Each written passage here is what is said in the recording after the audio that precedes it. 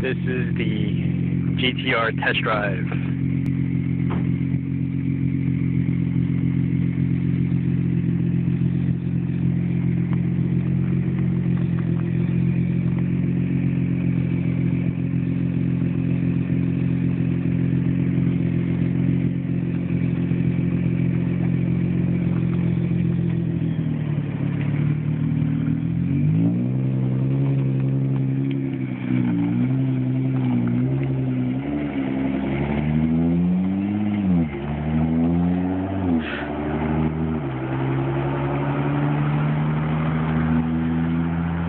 There's the GTR, about to turn around. And pretty much he's going to do a 0 to 60 from that sign.